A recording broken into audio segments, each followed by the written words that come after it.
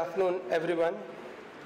On behalf of the Indian Institute of Technology and Institute Lecture Series, I am introducing in inertia. I was chairman Institute Lecture Series earlier. Now the new body has come, but the convener has ordered me to take it further and finish my previous assignment. So under that, uh, 35th lecture of the Institute Lecture Series is scheduled today. The topic is liberal education, future of work and the university. It's a topic which cannot be overemphasized in current days where disengagement of work is costing a country like USA uh, about 370 billion dollar per annum. Disengagement has a huge impact, but we are not realizing that. So probably future of work when Professor Pankaj Chandra talks on that will let us understand how to engage an individual with the work he or she is doing in day-to-day -day activities. And lib how liberal education, probably what I am expecting from it is that how liberal education is going to contribute to future of work and what will be the role of universities in coming times. The roles are dynamic. There is a D by DT component in universities functions. Being dynamic, they do change and uh, we are pretty sure that we have one of the most competent person in higher education landscape of India whose voice and opinions are being heard very seriously by all those who matter in higher education. Therefore, from a competent individual, we would like to learn and understand how higher education should reshape so that its stakeholders re-engage themselves with that. So with that hope and pretty surety, I'm pretty sure that Professor Chandra is going to enlighten us today. I am proud as head of the Department of Mining that he is one of the alumnus of the Department of Mining who has received so much of recognition and acceptance. And today his name is such that it, uh, the moment you say Professor Pankaj Chandra, there is a brand of reliability, acceptance, amicability, and a vision is given. And I was informed yesterday, I was pretty anxious when his session was going on. The moment his session ended, a WhatsApp came to me that it was intellectual treat and most of the students were engaged full time and I thanked him at that point of time. I'm pretty sure even this event is going to be a moment which we will cherish lifetime. Because the kind of experience that he has, the exposure that he has, I'm today, after my exposure, I'm sure that even the exposures do not influence unless your inside talent takes it in right direction. Otherwise, from the same place, people take different kind of exposure. And with similar exposure, people behave differently. So to receive right stimulus and respond positively, you require a persona of the kind of Professor Pankaj Chandra, who has, uh, most of the people who are in higher education dream to be a faculty in IIT and IIM. Here is a person who has renunciated IIM professorship. He has resigned from it to take, to establish a university that is again uh, of its own kind. So with the first-hand experience of building an institution, let us listen a doer who is experimenting his thoughts. So a combination of Krishna and Arjun together. We say the visionaries normally don't execute.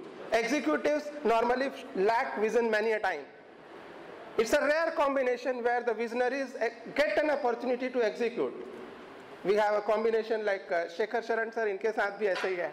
Technology के field में is visionary also has an opportunity to execute that also Manoj ji है दुधी चुहा में those of you who go mining का जो उन्होंने plan किया, वही एग्जीक्यूट करने मिला।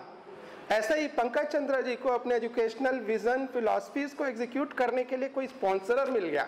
So I find him he I envy him and I find that it's rare the rarest opportunity available to an individual within his own professional lifetime retire होने से पहले ही सर को एक्सपेरिमेंट करने के लिए एक पूरी यूनिवर्सिटी मिल गई है And the people who gave it are luckier. He is not lucky, the institution is lucky. I'm pretty sure we will carve an institution which will not be, I'll say, worrying much about these rankings and all those rat race. But if that is missed, the world ranking will have to change its parameters of assessment. That kind of trust I do have in this institution. Now, I, with this introduction of Professor Chandra, I don't know how much justice I have done to your introduction because uh, you have been seeing, I really didn't get time to structure. So I'll circulate your CV again to faculty.all, the full official CV, so that you know what he is. And we have an institute lecture series established in the institute. Just two more minutes on institute lecture series because it's a very coveted series and all the speakers who have honored us by delivering the lecture have contributed meaningfully to intellectual landscape of IIT BHU in previous years. All their lectures are available in YouTube and you can visit it normally offline से ज़्यादा online उसको sites को views मिल रहे हैं visits मिल रहे हैं. Listen them and few of the students came to me they said we have listen last ten institute lectures and our personality has changed so I tell you ये लोग, वो पारस हैं जो लोहे को भी सोना बना दें. Please listen their word seriously with that I invite professor Pankaj Chandra to kindly deliver the 31st, 35th Institute lecture on liberal education, future of work, and the university. to those, of, just one sentence, to those of you who are not from mining, Mr. Shekhar Sharan is presiding today. He is chairman come managing director, CMPDI Limited, and was director technical Coal India Limited He is gold medalist of this department in 1981 and is a celebrity technocrat in the area of mining engineering. He is presiding this. Thank you, sir. Thank you very much, Professor Sharma. I think you've said more kind words than what I deserve, but um, I, uh, many of us believe that um, we have a responsibility to make this new institution look very differently. Professor Shekhar Saran, thank you very much for chairing this and, and being here. He was my senior in the department and has always inspired many of us um, right from the day when we came in. Um, actually, my talk is in three parts. The first part is around work. What is happening globally um, in India around work? uh, and, and what is its implication. The second part is um, what is this liberal education that we are talking about. And the third part is on, um, on, on uh, what is the role of universities or how universities must adapt themselves very differently. Uh, please tell me um, when I have to stop about five minutes or so before that so that I can then close up. um, um, so there, according to me, there are three very big forces of change around the world. One um, that you all are familiar with, and that's climate change. And it's going a little bit beyond the usual. We've heard a lot about climate change. We've heard a lot about um, what it is doing to temperatures and what it is doing to um, areas and snow caps that are melting or, or areas where um, colder temperatures are now being seen which would never happen. Beyond that, there are phenomenal implications that are going to affect all our lives and that's around health. Um, climate change is creating very new kinds of pathogens that is that are going to um, largely change the way um, we, are, we live a sustainable life. Social practices are changing very dramatically. Long time ago, uh, when I was a kid, I remember we would go up to the rooftop and sleep on rooftop. We would have everybody post dinner come and sleep um, and sit and talk. And that brought a very different sense of community. Um, today, it's actually temperature um, which is changing all of it. Uh, the second um, driver of this change is urbanization. Um, there is a forecast which says that by 2090, the top 10 densest uh, uh, cities will actually be in Africa and India. Um, the densest would be Lagos uh, in Nigeria, but of this 10, 7 would be from India. Now, it has very major implications, major implications on housing, major implications on mobility. Skills is another thing within the city, the pressures on immobilization. We are seeing now large multi-story towers coming to increase space efficiency. But every day in the morning and evening, you have large number of people coming out on the main road, creating enormous amount of congestion. It has led to um, um, I mean, growth of cars and fuel consumption and consequently pollution and health. Uh, uh, there's large in-migration that's happening from rural areas into urban. And, and the urban is going to get defined very, very dramatically. And the question we will ask, so who takes care of the rural? Will the rural exist? What will happen to agriculture? who does agriculture? Do large corporations do agriculture because individual farmers will sell and move out into urban centers? And it's a very major challenge. The third, um, uh, the third driver is technology. And much is being talked about, but I, I want to, I, I don't want to talk too much on it, but you know, last night I was talking about this historian, this historian from Israel. If you've not read him, please do read. His name is Yuval Noah Harari. H A R A R I. He's written two books, Homo Deus and, and, and Sapiens, and his third book, 21 Lessons for the 21st Century, just come out. And a very, very interesting individual who looks at technology over centuries. So his focus is not today, tomorrow, five years, 10 years. He says 3000 years ago, what was the um, technology, what were people doing? Uh, from 2000 to, uh, from, uh, from uh, year zero century to 2000, what happened and now what's happening. And there's some very interesting revealing questions that he raises. One um, is that um, the Neanderthal or those um, who predated us 3000 years ago actually worked for survival. They brought, whenever they needed to hunt, they built the tools, they hunted, came back, and then they sat and did nothing because uh, there was food. Um, in the last two, um, 2000 years, um, mankind has started to, um, um, so, so the first uh, several years, uh, several thousand years was all about food.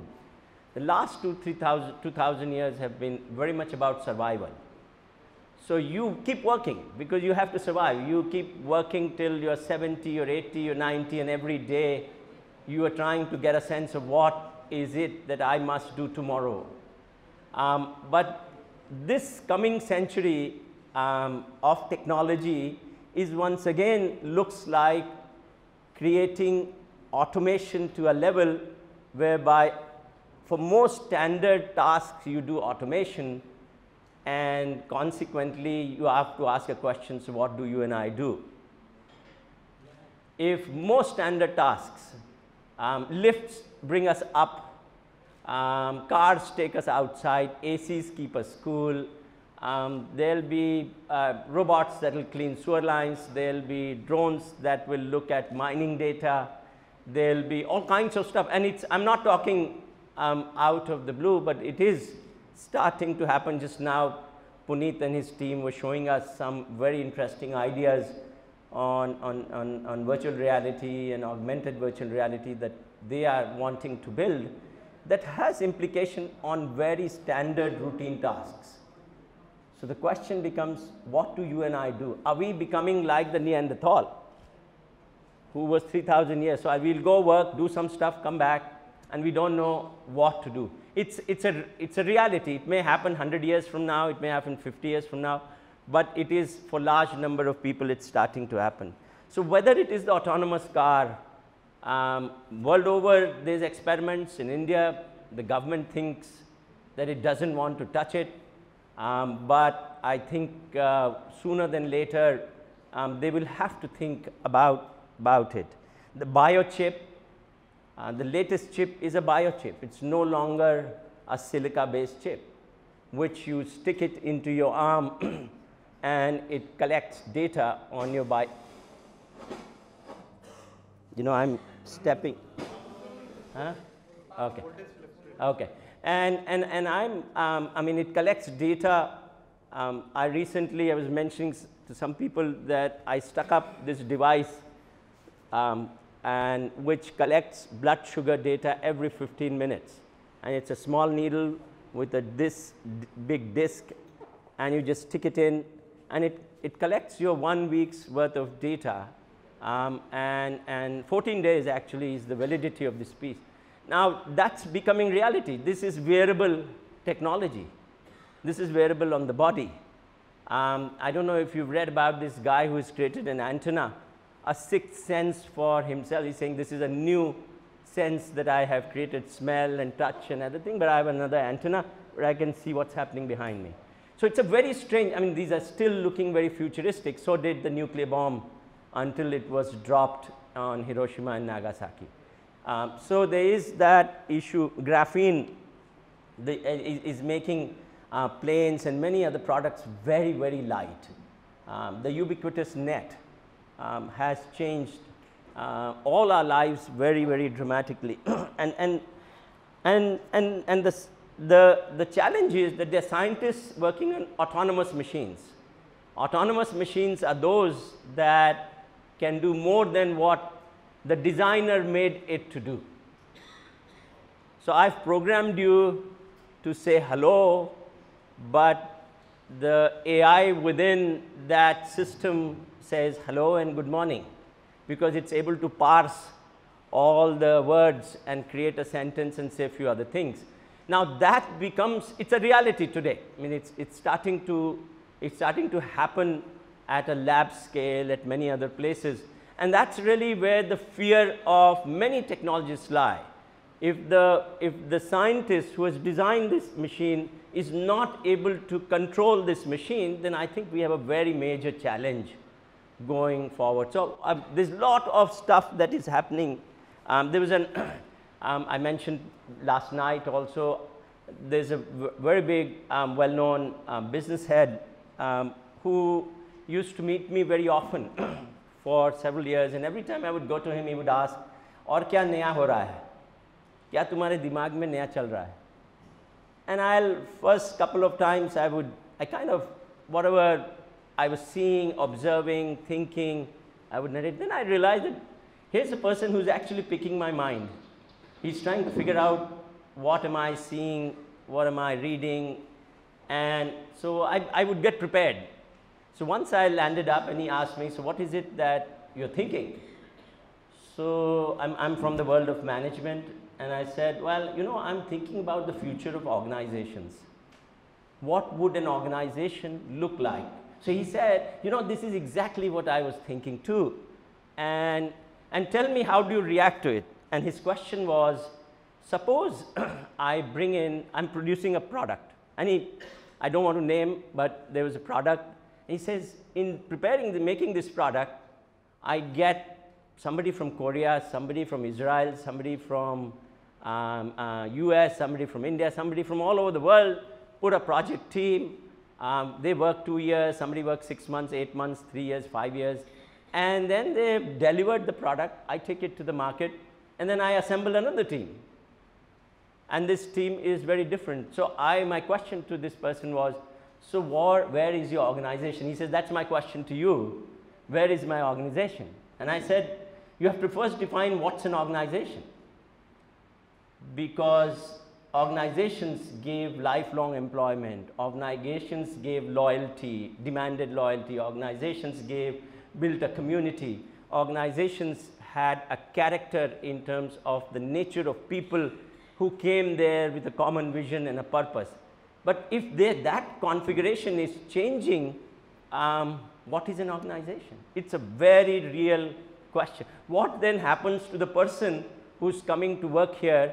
I am an autonomous subcontractor. How do I go outside? Um, what are uncertainties regarding my own life?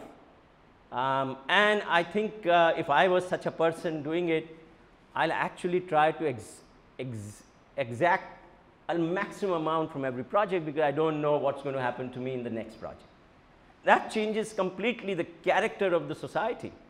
So, the point I'm making is many of us who actually were born five decades, more than five decades ago, couldn't have imagined it. Um, and I, I, I, mentioned, you know, I've, I've, been, I've had a ra rather standard life where I've been in the same industry, which is university and academia and I have uh, I've changed jobs, but it's been exactly in the same industry.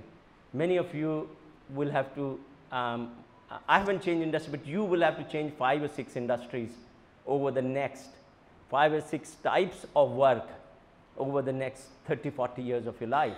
And if that happens, the question then becomes, what is education? What do you learn? Where is it that how do you prepare for this eventuality? I'm, I'm at this point, point of time kind of um, elevating the apprehension. I'm not saying this is exactly that may happen, but there's a likelihood, there's a probability that it just might happen this or even more. Um, so the question is, what is your role in this world? Interestingly, two organizations haven't changed despite all of this. One is the university, and the second is a religious organization both want others to listen to them and both don't want to change.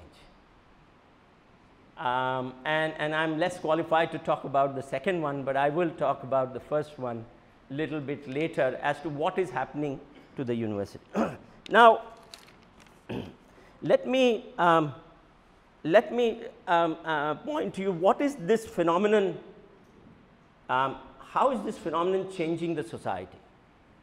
So, um, I, until recently, I sat on the board of this mid-sized IT company called uh, Mindtree, and Mindtree is going to go $1 billion um, kind of revenue very soon.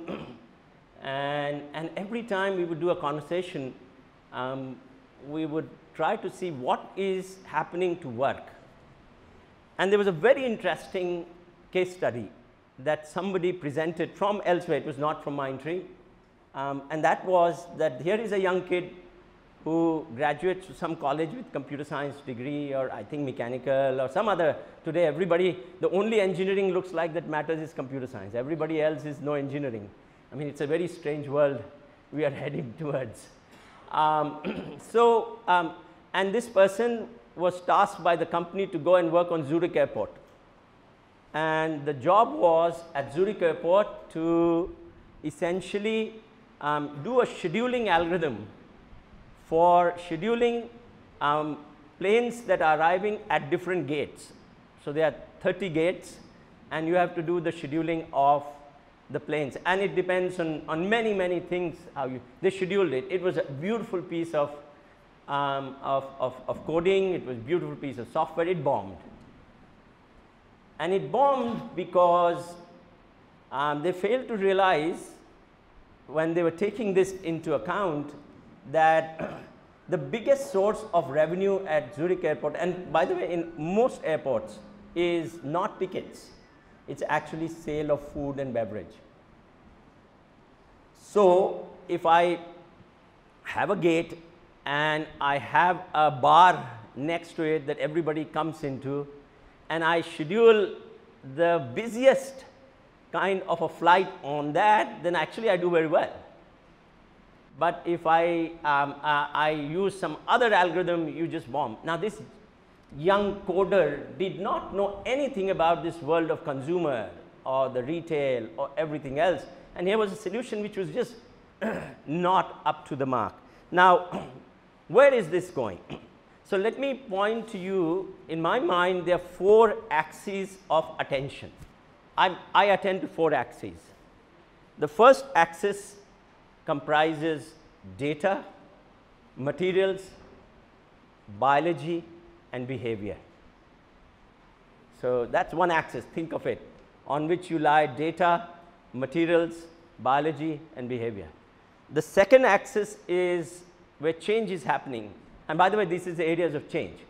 Second axis is around health, transport, energy, and food.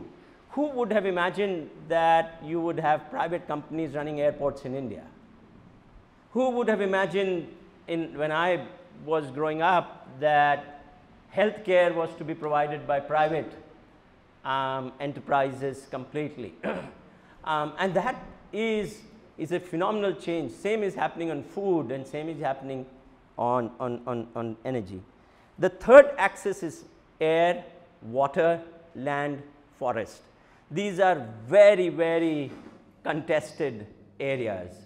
And, and, and I, we were talking this morning with um, Ajay Kumar Singh and the challenges that they are facing in terms, and, and Mr. Shekhar Saran around, um, uh, around the environment in the mining area and its land rights and so on and so forth. And it's a very major, major challenge. The fourth axis comprises of individual and community. Now, why are they worth our attention, these four axes?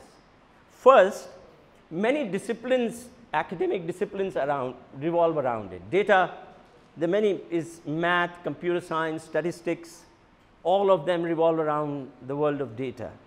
Um, materials, it's all engineering, sciences, manufacturing, many of those areas. In biology, life sciences, ecology, environment, all of them are kind of linked in that world.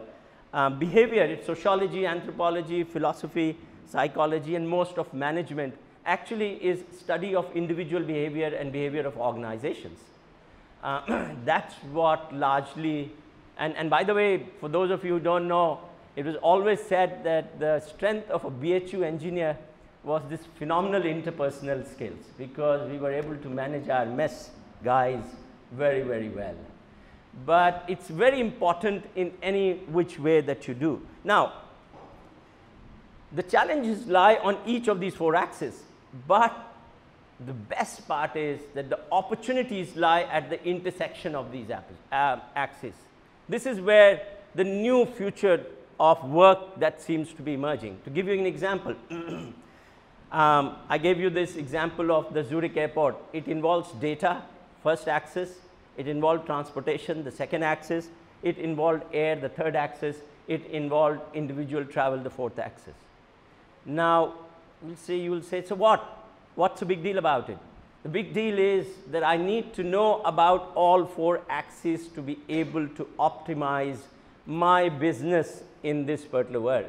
Same is the case with uh, public health. If, you're a, if you go and become a consultant for a public health or an NGO, you have behavior as one axis, you have health as the second axis, you have water, if you're working in water as a third axis, and you have a community.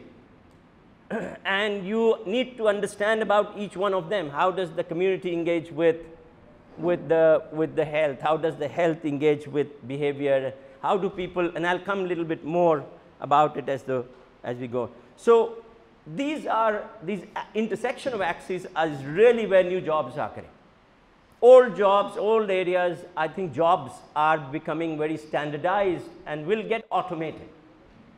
Um, I mean, mining has become very automated in quite some ways, and it's going to increasingly become one. When, when Puneet was showing Mr. Shekhar Saran a video, which is just a preliminary one, his instant reaction was, you know what, this is very exciting, please come to Ranchi, let's discuss and talk. So it looks like head of the country's most sophisticated organization in this industry um, is also thinking about many of these areas. And it's very important to, to, to think about it. Now, how does one prepare for these kind of new jobs? Because it's not, I do just plain simple my mechanical engineering, heat engines, thermodynamics, all of that drawing, all the shebang that goes in or, or any other discipline, um, it doesn't prepare you. So what do I do to be able to, to, to, to cut across these? And, and, and, and what does um, this how to learn mean? And I think the, the, the thing that um, we can do at this particular juncture is, you know, information is all available on the net. Information is data. Um, about 15 years ago, when I was at IIM Ahmedabad, we would go teach a case study from Harvard. And we were the only guys who had access to Harvard case studies, and that was our competitive advantage. Harvard saw this as a business opportunity. It says, okay, my God, looks like Indians love cases. They opened their case studies to everybody. So everybody is starting, now what is my competitive advantage? So I have to develop my competitive advantage very, very um, differently. So information is no longer competitive advantage. Knowledge is no longer sufficient because knowledge is changing. I, I, I used to teach operations management and which is largely inventory, lean, production planning, scheduling, all of it is gone now from the classroom. It's actually, it's been elevated into large softwares that are sitting somewhere that will help people do. And you are not the one that is, the manager is not the one who is actually making decisions about it. They're taking, they're taking that big software, dumping the data, getting schedules out, and then, so the disciplines are changing very, very dramatically. So knowledge gets completely, by the time an idea comes into a book, it's almost, almost 10 years old. When my book came out in 2017, actually it was work that started in 2010. So it's already outdated, it's all gone. so what do you do? If, if data is not available, uh, is not kosher, and I think the only skill that we can, um, we can learn and teach to manage this phenomenal uncertainty is about how to learn. How do you learn? After you leave college, we're all learning on our own. You look at others and you say, okay, this is how this guy does. You read, you learn. We're all doing self-learning. We might go for a program for six days or seven days and here and there, but largely you're doing self-learning. And, and it is this how to learn which is actually going to change the way we manage this changing technology. Otherwise, we would be in, in trouble. now, that kind of brings me to the second part of my talk. So, if this is what is happening to work, if this is the uncertainty that seems to be kind of navigating the world's corridors, and if this is how tech, urbanization, um, and, and climate change are inter interacting with each other, um, my, um, my, um, uh, my, my hypothesis is that we need to learn and teach how to learn. Now, let me talk a little bit about this how to learn because it is, it's very nebulous. Because what do you mean? I'm, I'm sure when I, I'm sure you'll ask, so what does this mean, how to learn? Uh, when I go into a classroom, I do some stuff, yeah, I learn. But you're telling me develop a method, a course called how to learn. and, and I think, let me, it needs a little bit of, of um, evaluate, um, uh, of explanation. I very strongly believe that for imagination, because it's through imagination that you're going to be able to address this uncertainty. I don't think through existing paradigms we can address this. We have to imagine. We have to imagine along with these Silicon Valley guys, we have to imagine along with these other um, IPCC and environment folks. And this imagination happens through research. And, and, and research is not about winning a prestige by publishing a paper or doing a research is about curiosity. Research is about trying to think about an issue. Um, and research is about um, talking about a problem. So you're really talking problem solving and problem solving, um, a PhD student, by the way, does that. A PhD student's world is you get into a problem, get in deep, and, and, and you do research. You pick up tools, you pick up methods, you do some modeling, you do something else, you inquire, you pose a question, you answer a question, you turn down a hypothesis, you generate a new hypothesis. That's how the research progresses. Um, that world is the world that then teaches you to imagine. And that imagination is what needs to be, that research, that imagination needs to be brought into, into, the, into the classroom at an undergraduate level. And I'll, I'll, I'll mention, so, so the point I'm saying, when there's uncertainty about the future, you need to learn how to learn. You don't focus on knowledge, you don't focus on data because tomorrow that world will change, this knowledge will change, this data will change, then what? I have to learn some very standard principles which will allow me um, to, to, to question. And, and research is always about questioning. I'm using this word research, you can call whatever you want. Yeah, it's not truly in the sense of an academic research, but um, it's largely problem solving that I'm talking about. and you need to be skilled into this process of problem solving. How do you go solve a problem? So design thinking, some people come up and say, okay, you know what, design thinking is a method that will help you solve problem. Okay, good, that's one of it. Critical thinking is another one. How do you look at critiquing um, very constructively?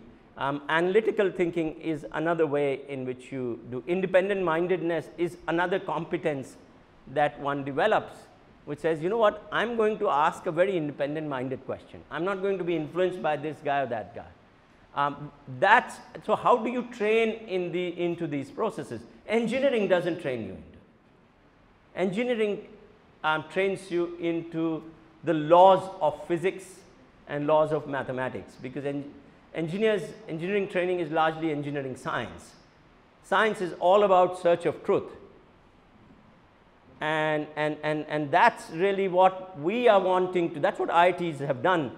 And, and I think that's why they're not going anywhere because you don't, they're not problem solvers, most, most of them And that creates an enormous amount of challenge in minds. So everybody is a theoretician. Everybody comes out from a university or an IIT or institution and say, अब real world में आ रहे हैं अभी तक तो theory पढ़ रहे थे now, that's bad. I mean, if you have to do that for five years or seven years of your life, I think it's a waste, complete waste of time. Uh, and, and, and, and, and let me explain this through a question, very simple question, which will make this issue very real for you. Um, because it's this imagination which is cultivated through research, which is cultivated through series of ways of doing things, problem solving and analytical thinking, critical thinking, and where is that coming from? Where is that story coming from? So suppose I pose a question, so I, I, call a group of multidisciplinary people into this room. I call a psychologist, philosopher, um, a scientist, an engineer, and a behavioral economist, um, Daniel Kahneman, who got the Nobel Prize for behavioral economics, make these guys sit down. And I pose a question. And I pose this question how do you reduce congestion at Lanka Gate? Okay.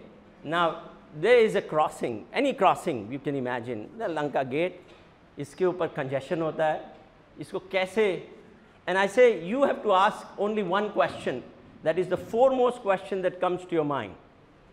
Now, what would a sociologist say? The sociologist would say, why do we not follow the right of way? if I've reached that crossing first, then I should actually go first. But that doesn't happen, that it, it doesn't happen.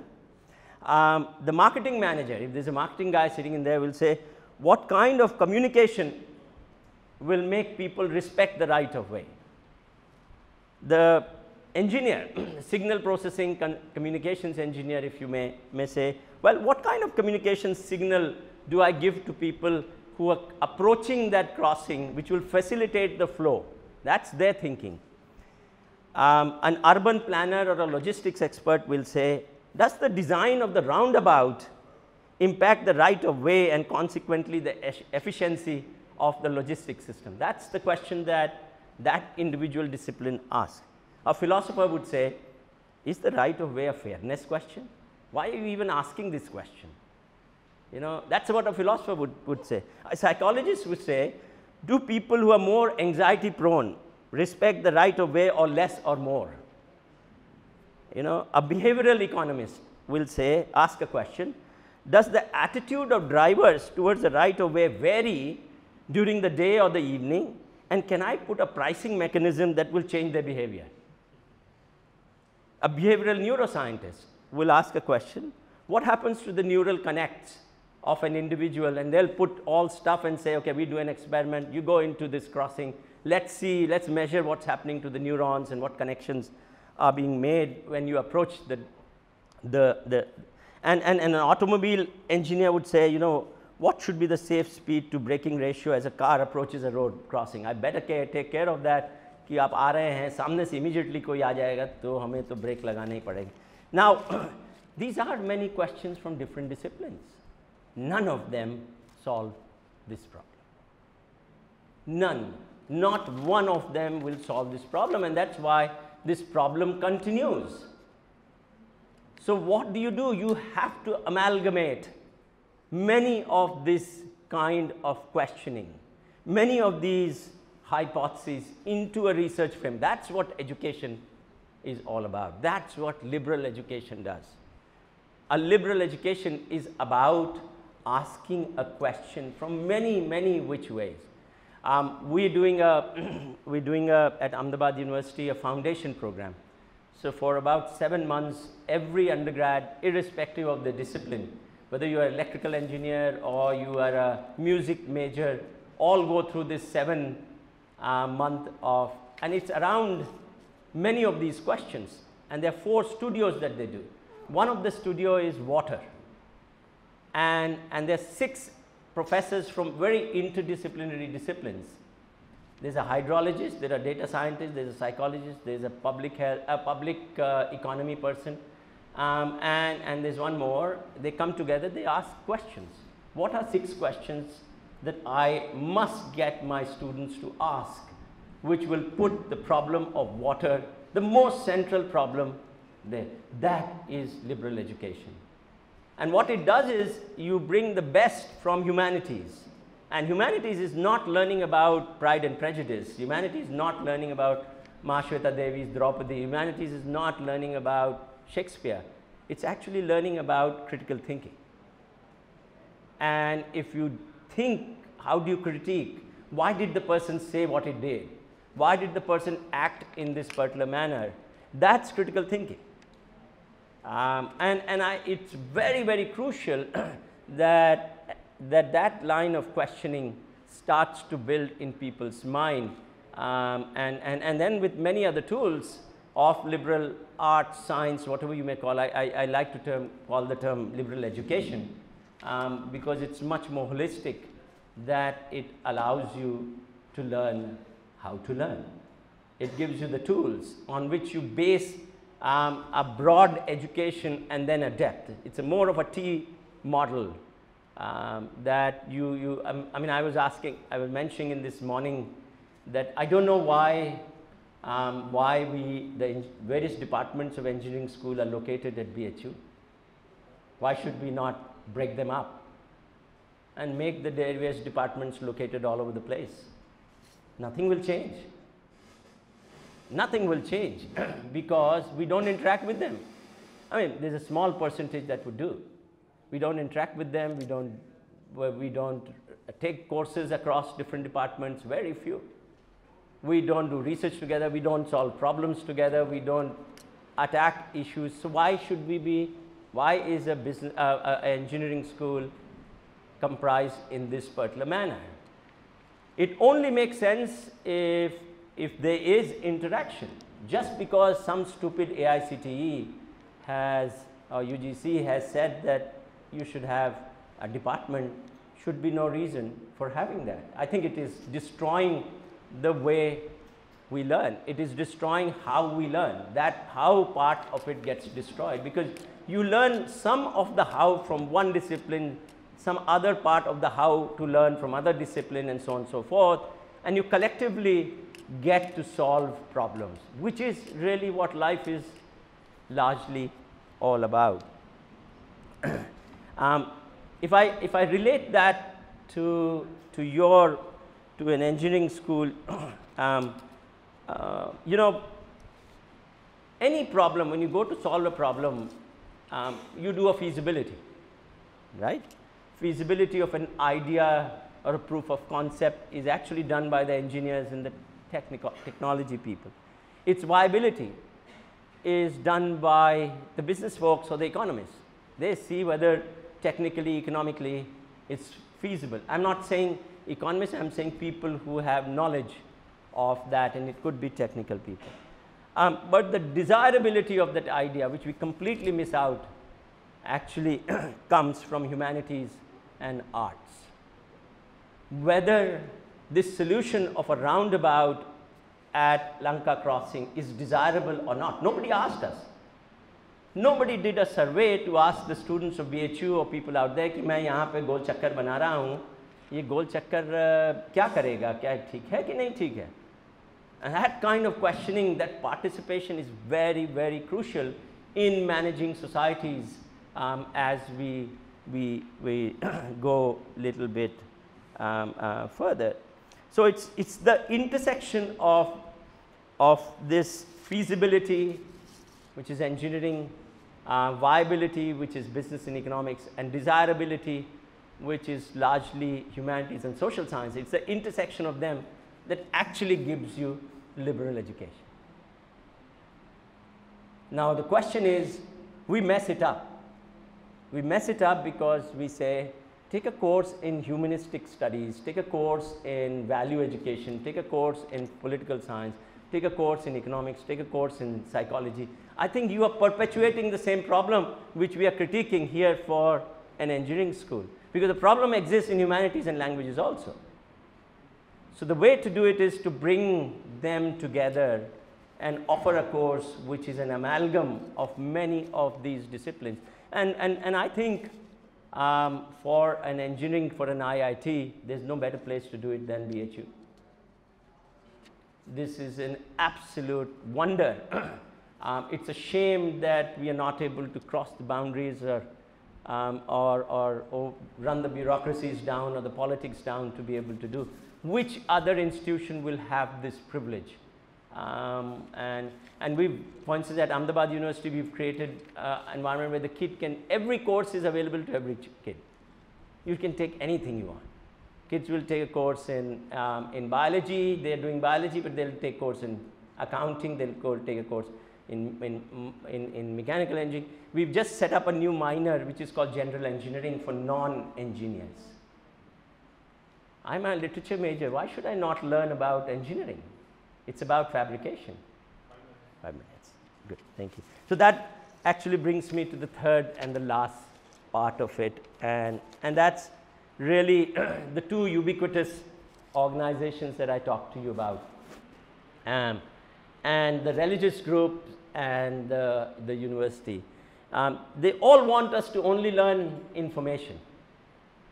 They'll only want to tell us 3000 years ago क्या हुआ कौन आया कौन गया उससे क्या knowledge निकलती है उससे क्या व्यवहार बनता है उससे क्या होता है उसके बारे में ना उनको पता है ना उनको उनके मठ को पता है so I think that's a really big challenge on that front we in education have also practically become like that. And we've become simply because, um, because since 1950s, um, we have completely taken over the running of institutions by the government. And when a government takes over institutions and it wants to control, it will only do it by standardization. It will make sure that there is a stupid AICTE that sets out a curriculum that every institution follows and, and, and actually who will go to set those curriculum, God knows. Um, when the fact remains, everybody must experiment if everybody, every institution experiments within the framework of guidelines that you have to have 120 credits or 40 credits, these are the things that broadly do, then there are new things that will arise out of university. So, um, that's been one major problem associated with universities. And universities are now run by governments. They're not run by academics. They're run by political parties, they're run by governments, and, and, and, and they place whoever they want to place as heads of institutions. Um, the decision making, and this is, this is never, ever, um, um, I, I could ever think of it. The decision of who is going to be head of institution is made out of town. The committee that makes that decision never visits the institution, never meets the faculty, never meets the students, can't figure out what is the need of that institution at that juncture. What kind of a leader do they want? Um, and that is a very, very major challenge. The standardization of learning, as I mentioned, because of the curriculum, the standardization that's taking place because of the examination system, and that needs to, to, to actually uh, break down. Um, and, and the last is, um, I think the kind of evaluation that we do, we are teaching to evaluation, we're not teaching to learning. And unless that part changes very dramatically, this flexibility in our environment, flexibility in what we do. Um, uh, how do I make my classroom more relevant to what is problem solving? It becomes a huge, huge challenge to be able to, um, um, to be able to meet the how to learn part of it in any kind of setting. Today, our institutions are not ready. Many institutions, by the way, globally are not ready. We are not the only ones, but I think India um, has a very, very long way to go. Um, and unless those barriers, those boundaries, those ways of thinking are, are destroyed, I mean, I, I want to use that word, are destroyed, um, it's going to be very difficult to build the edifice of a new educational environment that is catering to the future and not to the past. Thank you very much.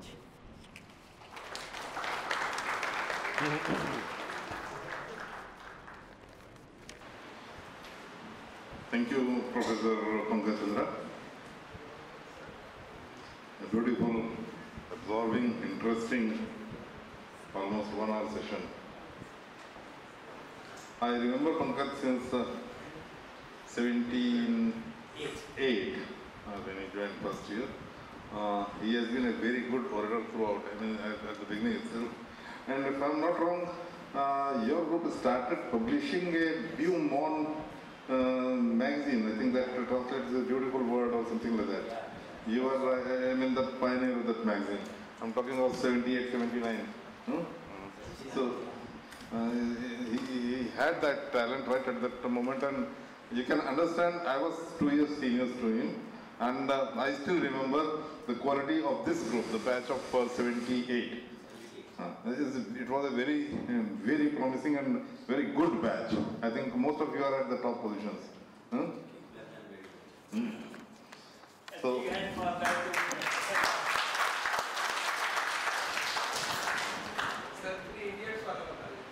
और last में सोच रहा था मैं बताने के लिए anyway I think the uh, lecture series on this uh, liberal education, future of work and the University of Dr. Sharma, he has been conducting, uh, this is also 35th lecture series I suppose. Um, congratulations, uh, congratulations Dr. Sharma and uh, uh, I, I wish uh, I could have been part of the many more lectures what I had listened. Uh, one thing can be, I think Dr. Professor Pankaj Chandra is uh, one of the uh, most brilliant modern day alumnus of uh, IIT Humanities Department. And we are fortunate to have Pankaj with us. And uh, Pankaj, uh, I hope you will, will be blessing many department with your uh, uh, frequent visits. Uh, BHU IT department needs your uh, blessings. Uh, very good, I think introduction part was by Professor Sharma. It was also very, very um, exhaustive, very to the point, and uh, he was also talking about uh, changing of personalities of 10 candidates per, per, per uh, lecture. I think that's a very good idea, and um, uh, that is going to change the perception of the studies what we do. The, like uh, Professor Chandra was telling that um, now I, I must come to three idiots part. Uh, you might, I don't know if you know, if you know, Pankaj, Professor Pankaj Chandra was the man who helped Aamir Khan in preparing Three Idiots film. If you see the acknowledgement part, at the end of that uh, acknowledgement part, Professor Chandra's name is there. And uh, Professor Chandra, I would uh, request if you can share some of your experiences with the, uh, with, just after this uh, address. Uh, you can, what, whatever he has just discussed, I was just going through those uh, uh, points and I was remembering कि three idiots में same चीज Aamir Khan was telling कि क्या तुम लोग engineering पढ़ने आए हो रट्टा मारने आए हो ये करने आए हो That's exactly Professor Chandra was I think uh, having this uh, discussion with all of you. Hardware of three idiots is on. Huh? Exactly. Uh, as far as mining engineering, mining engineering is uh, such a uh, is, is a branch जहाँ आपको you need finance, you need electrical, mechanical, electronics, hydraulics, uh, ex- in environment science, biology, medical, health. Yeah, nowadays you are uh, having a lot of uh, in IT involvement, IoT involvement, AI involvement, machine learning, everything, all the fields are there. So mining may, if you are uh, targeting, uh, suppose a mine is engaging 200, 300 person in India, I'm talking about, you know, open cast mine. We are having 300 to 400 manpower and we are producing say 20 to 30 million cubic meter uh, uh, of uh, mineral. I'm talking not only of coal, but in mineral. I think the Rampura Agucha, they are handling around 100 million ton of uh, volume every year. Million ton if you consider. Um, Coal India, they are having Gevra projects, 40 million ton. And NCL, a number of projects who are producing how many? Maybe 20, 25 million ton capacity projects. Engaging many? Only 100, 100, maybe uh, 100 manpower per shift. And maybe it will translating into say 600, 700 manpower. Only because of this uh, technological uh, involvement. A lot of uh, involvement of these applications, the application of these technologies. So I think the mining engineer has to be, the- there is a professor, you were telling that uh, mining engineering is what we were told, is the jack of all trades, master of none. They- He can manage anything, but he has to be the jack of all trades, master of none. Now जब तो change होते चले जा रहे हैं.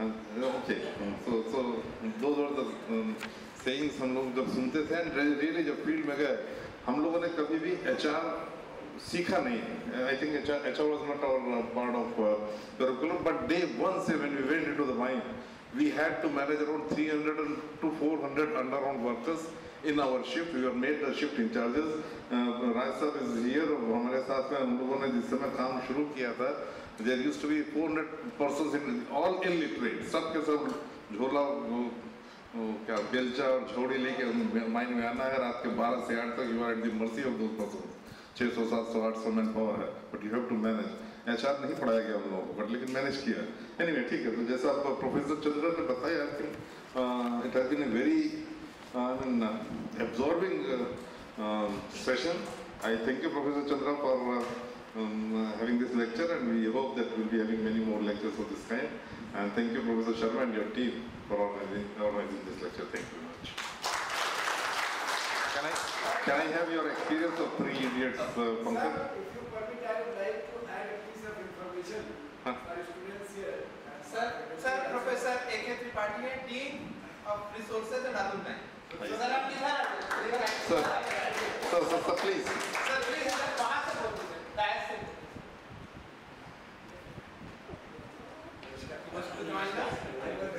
He was to join us in inaugural, but because of uh, I, I just wanted to add a piece of information, maybe at the cost of repetition. It may have been told in the beginning itself.